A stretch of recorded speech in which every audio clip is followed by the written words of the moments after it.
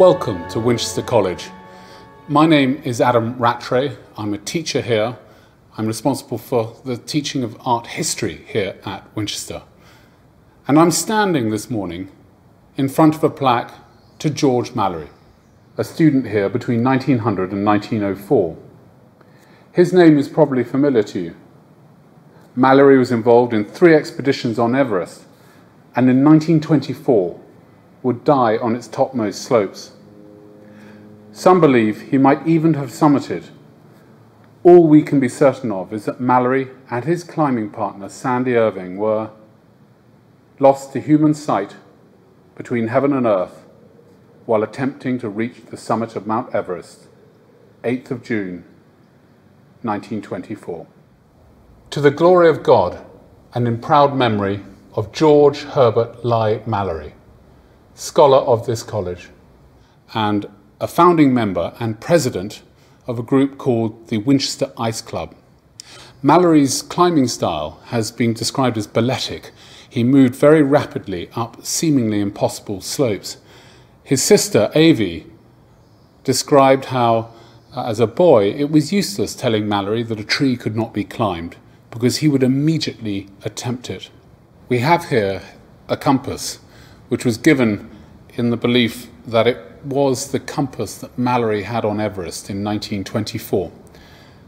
Here at Winchester, Mallory climbed all over the roofs and towers of the college. He famously free climbed Chapel Tower, using drain pipes and gargoyles as toeholds. Today, health and safety would not allow me to attempt that, so I'm going to use staircases. We have two aims for this film. The first is to show you Winchester from the rooftops and towers that Mallory would have known. And our second is to show you hidden Winchester, parts of the college that are not open to tourists and that indeed some boys and staff have not seen. We have permission to go everywhere. Our cameras will go into buildings ranging from the library to the former warden's lodgings. Winchester College, founded in 1382, is a national monument. There are no fewer than 18 Grade 1 buildings, 6 Grade 2 star, 70 of Grade 2. So let us make our way to the entrance, stopping at the heart of the medieval school.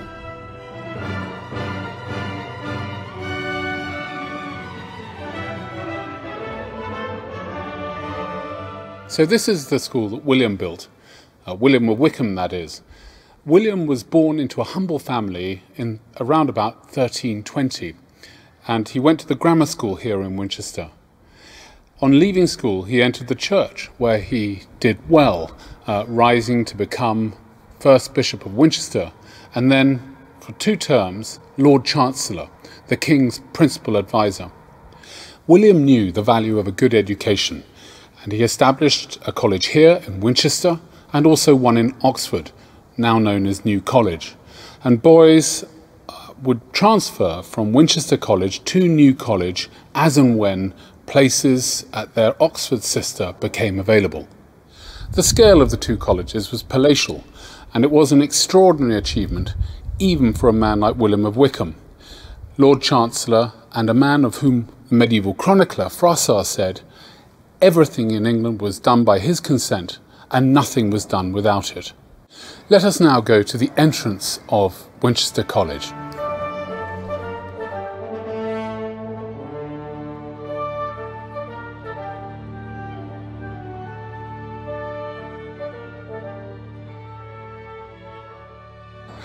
We're standing here outside Outer Gate, built as the entrance to the college in the 1390s.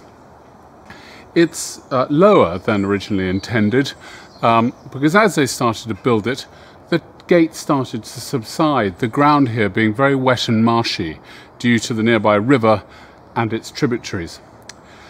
The stone from which it's built is uh, mostly from the Isle of Wight, Bembridge Firestone and uh, Green Ventnor. The flints, however, are vernacular and local, and when it rains, they uh, glisten, giving rise to the name Hampshire diamonds. It looks formidably secure, and uh, Wykeham might have had in mind uh, the peasants' revolt of 1381 when constructing it. While we're here, we can just see the one of the college's great uh, treasures, the 1390s Virgin and Child, because Winchester College is actually the College of the Blessed Virgin Mary of Winchester, near Winchester. So let us go in now into her college again, under her gaze, through her gateway, and meet Alan, head porter here for many years. There is very little that Alan doesn't know about the college.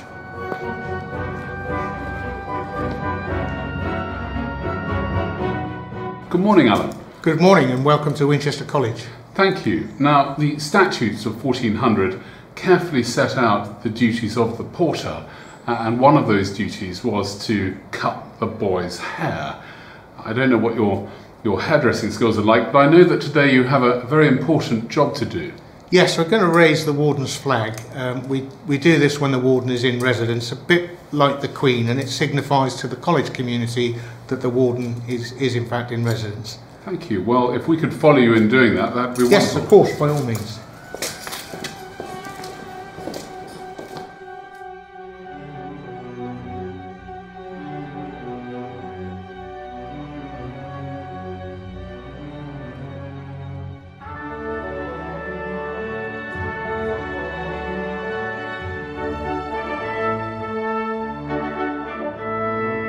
This is our first rooftop view of Winchester, and we have here views not only of the college but also of the city beyond. Over there is the great bulk of the cathedral, a rich mix of architectural styles from Norman to early 16th century perpendicular Gothic. And there, that length of building, is the former college brewery, where until 1903 beer was brewed for the boys and the staff. It was weak beer, and it was better for them than water, which was often polluted. Beer was served to the boys until 1916. Today, no beer is served, and the brewery itself has been converted into a library.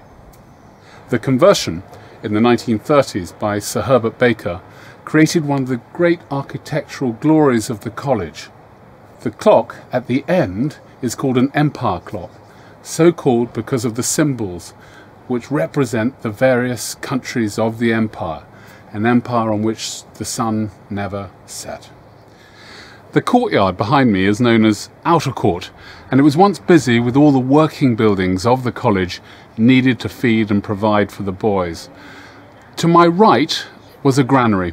Uh, beyond that, uh, a laundry, possibly even a mill, uh, whereas to my left was the warden's stables, a, a, slaughterhouse where they uh, uh, cut and prepared meat until the late 1690s, and just behind me the original warden's lodgings.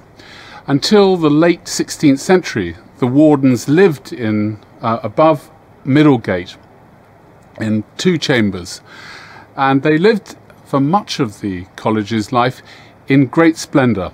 In 1629, the warden received two sheep a week, a hundred oysters every Friday, and no less than 15 gallons of beer every day. The warden plays a role rather different to that of the headmaster. Uh, he's responsible for the entire community. But let us now explore where Mallory and his fellow pupils studied, lived, and ate.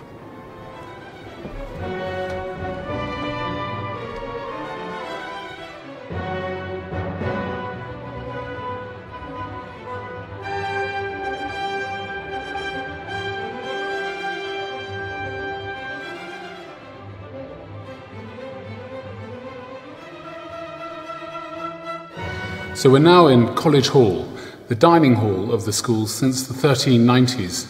And boys uh, today still eat in the way that boys in the past ate, of square wooden blocks known as trenchers, uh, giving rise to the expression a square meal.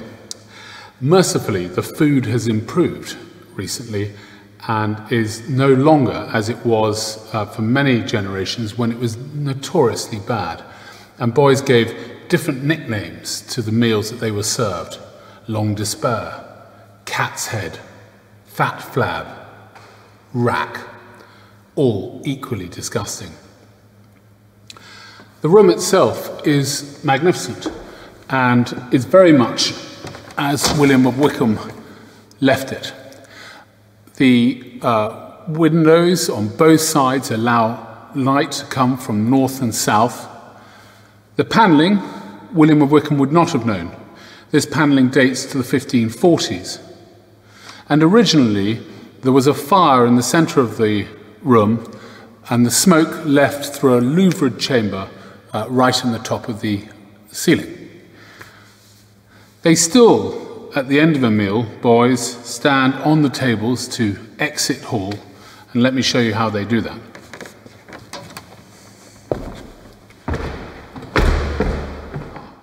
So follow me up now to Middlegate Tower.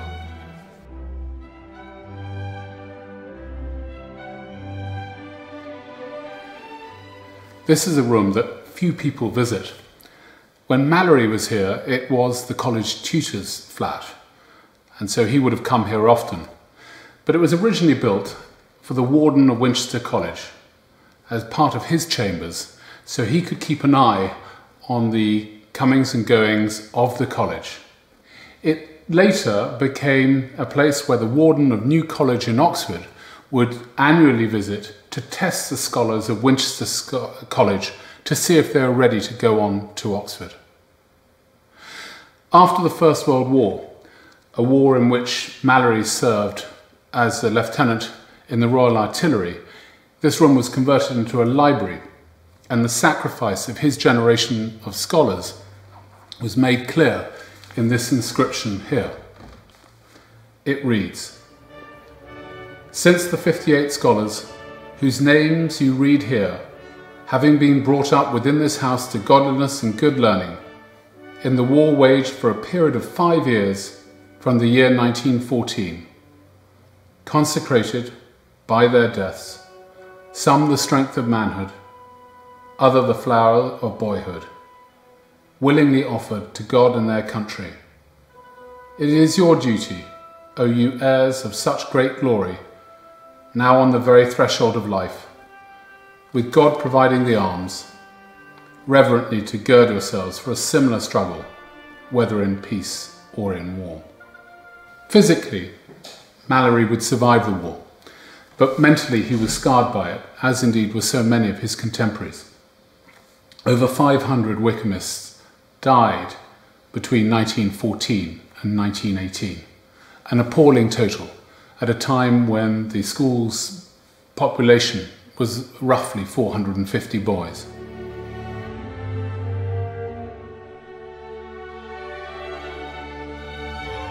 This splendid room, now a library, was once the warden's bedroom, and it was from here that he kept an eye on what was happening over the working area of college and also in the school. I think that the views here are some of the finest in college, but we are going even higher.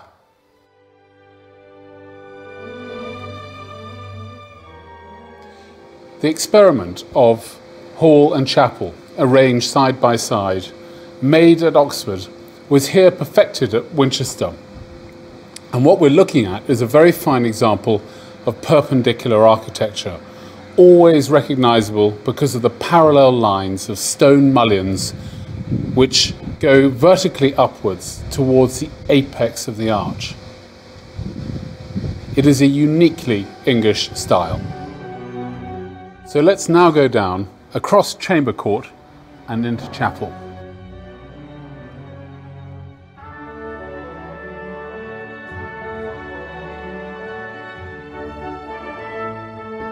Now, much has changed in the chapel at Winchester College over the last 600 years, but not the proportions and not the magnificent stellar lierne wooden vault.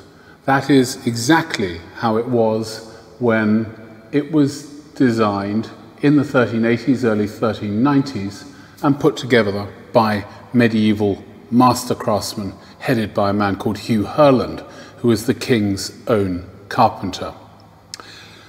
The glass is much stronger, is much brighter than it was originally. And this is because in the early 1820s, it was entirely replaced um, by substitutes. It has not always found favour. Kenneth Clark, the great art historian uh, and an old Wykehamist, described the figures you see there as green and purple monsters.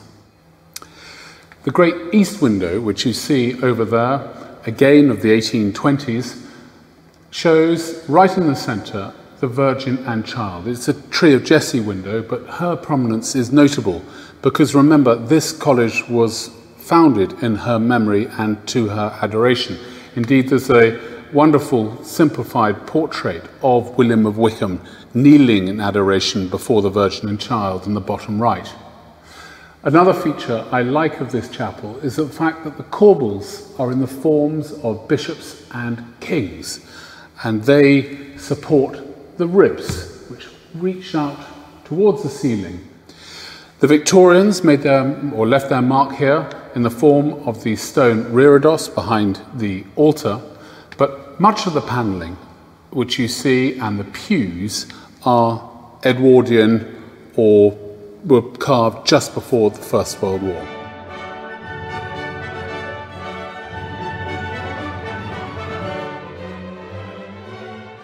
But these uh, throne-like pews here are original. They date back to the 1390s, each with its misericord, differently carved. This one rather splendidly, with a man sticking out his tongue at us.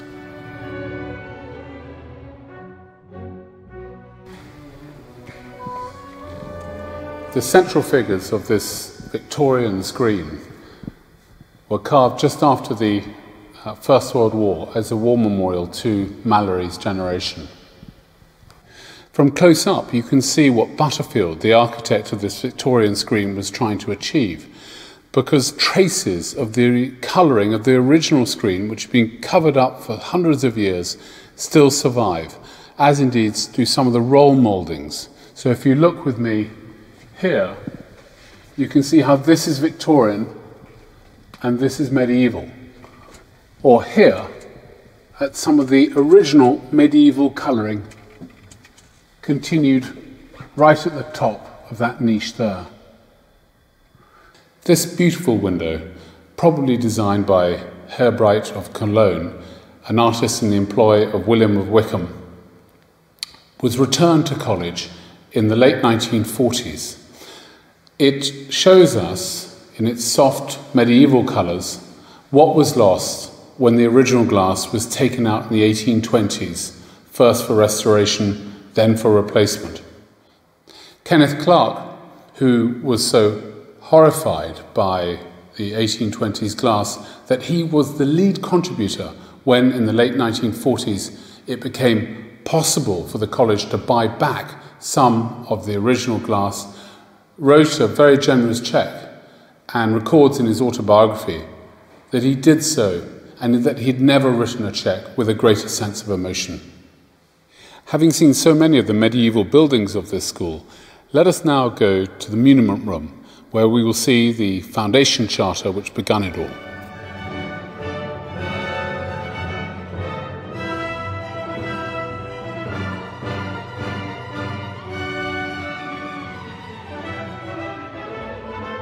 So we're here in a remarkable room, a strong room, a medieval strong room known uh, as a muniment room.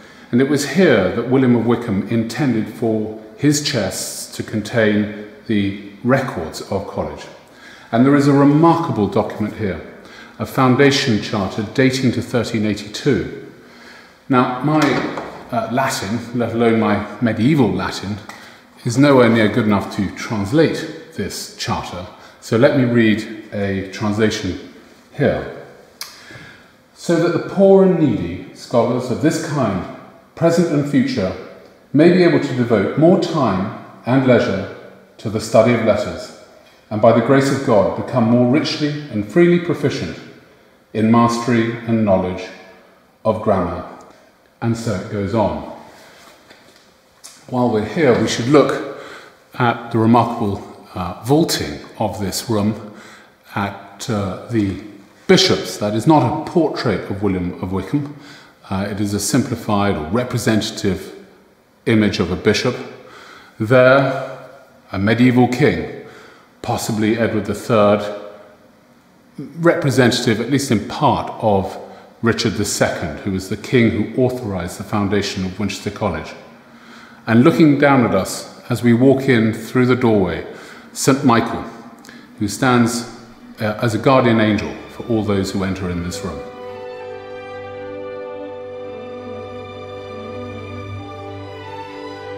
So we're here on the top of Muniment Tower, where we can get some of the finest views of the college. Over there is St Catherine's Hill, where for centuries Wykehamists would process up on their free time for badger hunts, to play loosely arranged games of cricket, to collect birds' eggs. And over there is Wolvesey Palace, the principal seat of the Bishops of Winchester here in Winchester, a magnificent Baroque structure next to the remains of the original medieval castle. And down there you find the Warden's Gardens, for centuries the private gardens of the Wardens of Winchester College. And here you see the uh, college lavatories, uh, known as a garderobe, uh, significantly enlarged in the 1540s uh, all offensive matter being swept downstream by that uh, stream we see here uh, uh, away from the college buildings.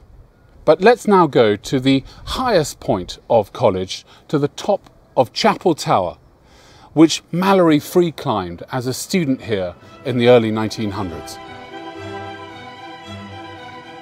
This is one of my favourite hidden spaces in Winchester, Bell Chamber. This bell here, for example, was cast in 1629.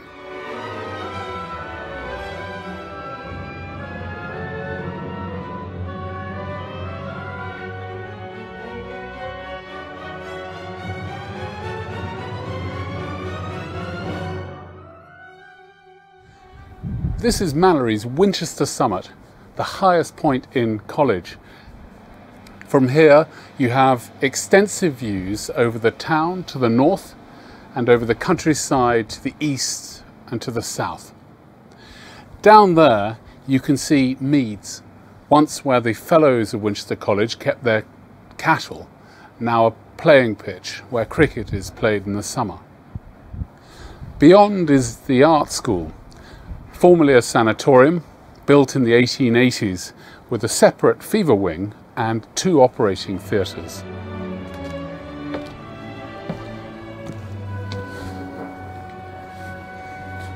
As I sit here, I can imagine the long nights spent by Wykehamists during the Second World War on firewarden duty. It must have been tedious. The length of time they spent here would only have been relieved by the extraordinary beauty of what they were looking at.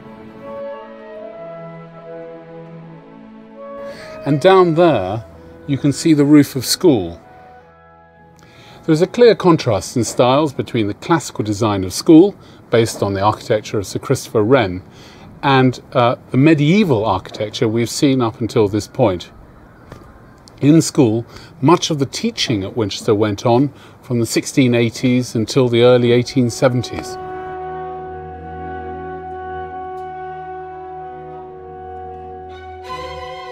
The main subject taught here at Winchester until the 19th century was Latin, uh, the gateway language for university study. And from his throne just behind me, the headmaster would lead the school in instruction. It must have been tough going for those who found uh, language study difficult, and uh, the so called Aut Disce board to my left tells us of the consequences of poor study.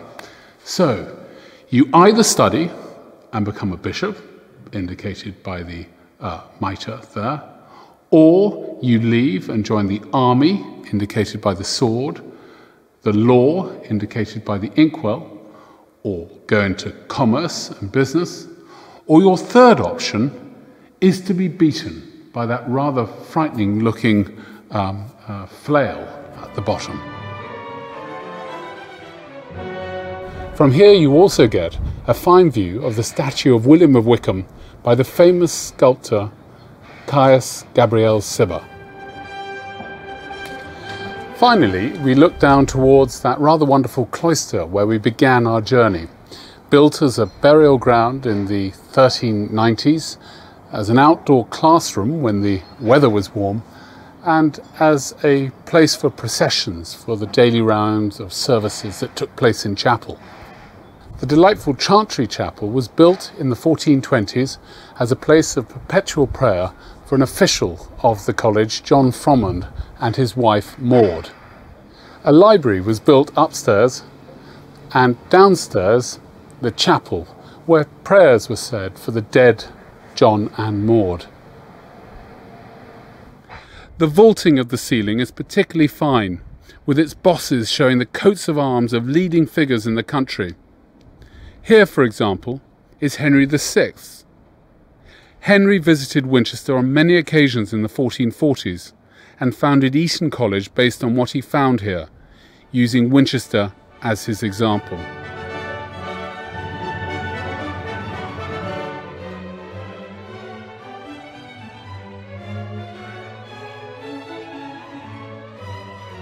I do hope you've enjoyed the tour, and please do look at our website for details about how to come and find us in the future. You might also think about joining the Friends an organisation that opens up our talks and lectures and concerts to a wider audience. Thank you